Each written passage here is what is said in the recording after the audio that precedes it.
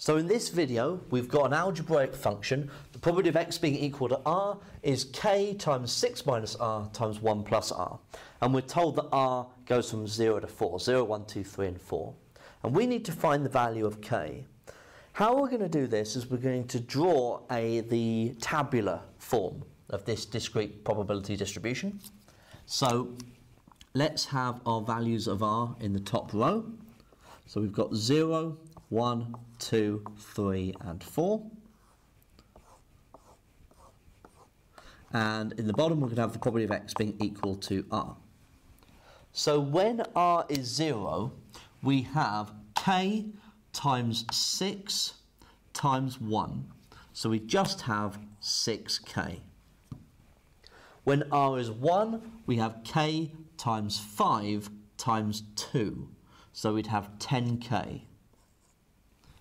When r is 2, we're going to have k times 4 times 3, so 12k.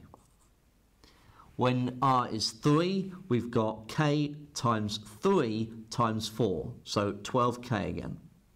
And finally, when k is when r is 4, sorry, we've got k times 2 times 5, so 10k.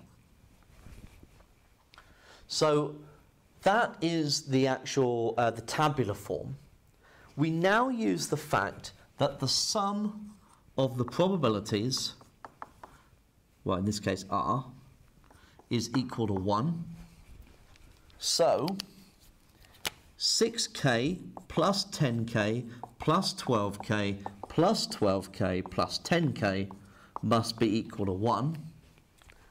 So 6, 10, so 16, 28, 30, 40, 50k must be equal to 1 and then divide both sides by 50 and so k must be 1 over 50.